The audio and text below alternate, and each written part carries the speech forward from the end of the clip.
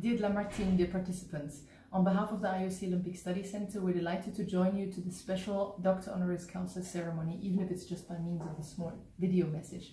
We regret not being able to be there in person, but we certainly don't want to miss out on congratulating you to this very well-deserved uh, tribute to your long-standing activities in the field of Olympic studies. For decades, you've actively contributed to the study of the philosophical and educational aspects of sport and the Olympic movement.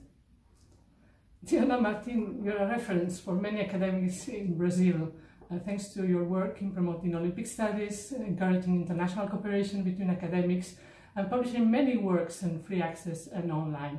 We would like to take this opportunity to thank you very much for your contribution and involvement in the IOC Olympic Studies Center activities.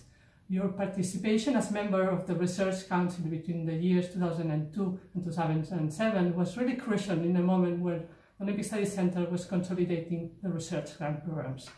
I really had the pleasure to serve with you very special moments, a lot of ideas, projects, and it's for this that I send you my warmest congratulations for this award and my warmest kind regards.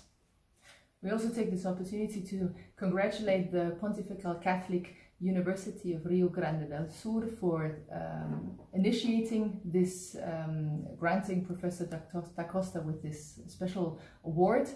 Um, and we send our kindest regards to all the participants and we wish you a wonderful ceremony. Kind regards and, from Lausanne. Yeah, kind regards. Un abrazo, Martín.